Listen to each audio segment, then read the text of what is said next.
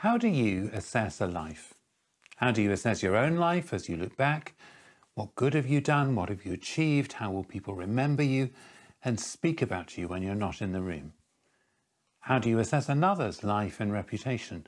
What scales can we use for something so complex and demanding? Yet without scales, without measures, how do we know ourselves what to aim for? How do we know how to live and to order our lives?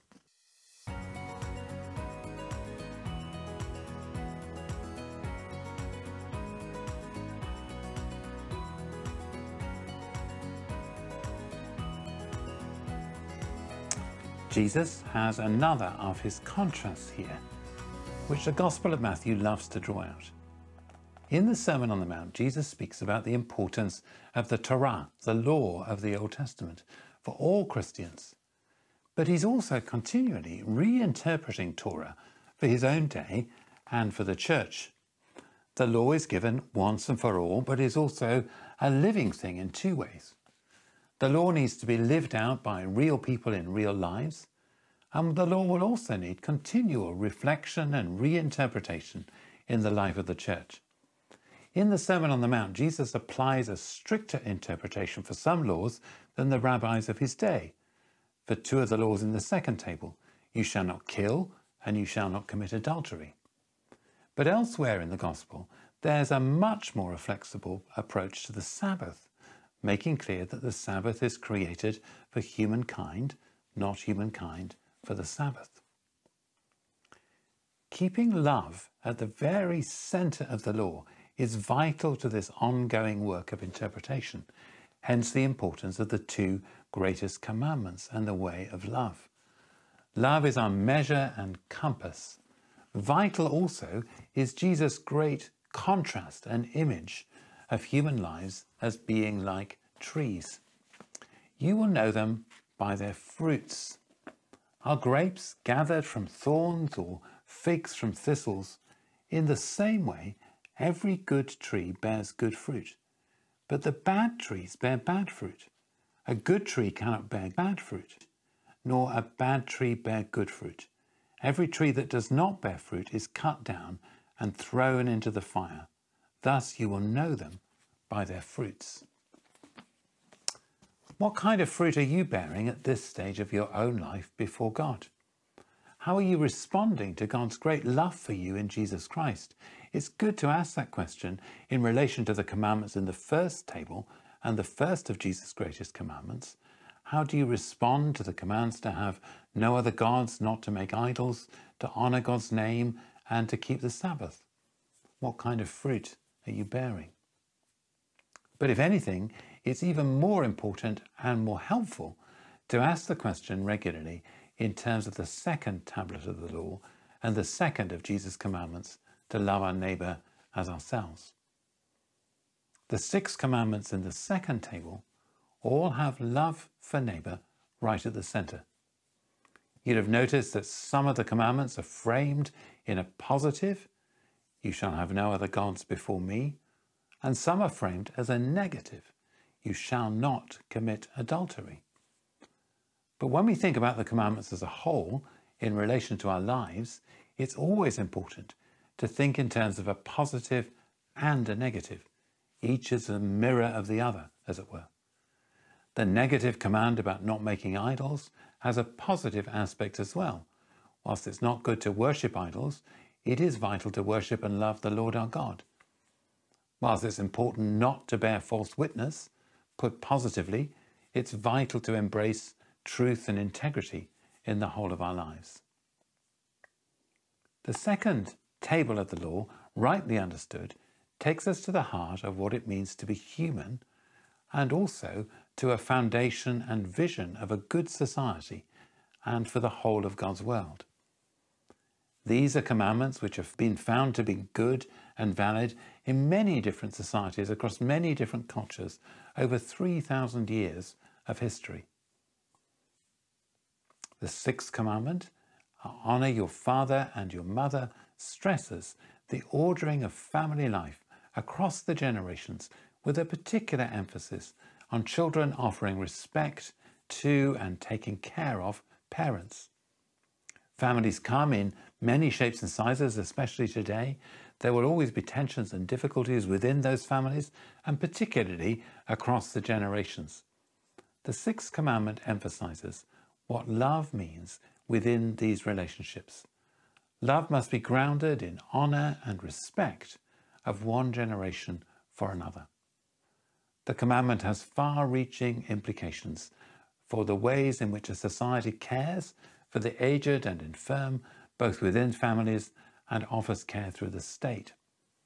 The kindred bonds of family are core building blocks of a wider society to be reinforced and supported by our laws and not eroded by them. The seventh commandment carries within it a deep respect for life. You shall not murder. The Hebrew word here clearly should be translated murder, not simply kill. Every human life is sacred and important to God. The interpretation of this commandment is at the center of many different ethical debates in contemporary culture.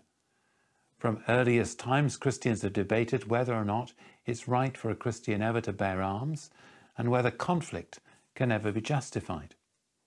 The early Christians were committed to pacifism and the pacifist tradition has always had an honourable place within the church. But the majority of the church down the years has stressed that war and conflict can be the lesser of two evils in certain circumstances, and has developed criteria for a just war. Therefore, many Christians today find an honourable calling in the armed forces and in the defence of their country. There's a vigorous debate around this commandment in relation to the question of abortion and the balancing of the rights of an unborn fetus and the rights of the mother who is bearing the child. At what stage of the development of an embryo is it right to call that embryo a person? How does love help us navigate these questions in dialogue with the medical profession? Some Christians see abortion as always breaking the sixth commandment. Others would see abortion as again the lesser of two evils, but only in certain limited circumstances. Finally, how does this commandment affect our understanding of the voluntary ending of life in the face of great suffering and extreme old age? There's pressure from wider society to allow legal euthanasia within the United Kingdom. The majority of Christians hold to the principle that palliative care in the face of illness is absolutely right, but that euthanasia would have significant risks for individuals and for society as a whole because of this commandment. The seventh commandment, as we have seen, is reinterpreted by Jesus You shall not commit adultery. This commandment sets marriage as well as family at the heart of a good society and a fruitful life in line with the approach taken in Genesis 1. Yet there are limits and balances to this. Not everyone is commanded to marry. Jesus himself remained single, and there's an honoured place in the church for the single life. Adultery fractures marriages and is always serious.